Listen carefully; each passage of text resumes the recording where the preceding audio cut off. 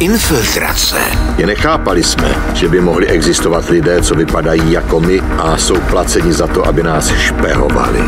Odposlouchávání. Chtěli zastavit snahy o integraci Černochů do běložské společnosti. Porušování lidských práv. Já jsem věděla, že je můj život v ohrožení. Občané Chci mít stejná práva. versus mocenské struktury státu. Jakákoliv snaha o prosazování lidských práv byla rozsudkem smrti. Špioni od Mississippi. V pátek ve 20 hodin na CS History.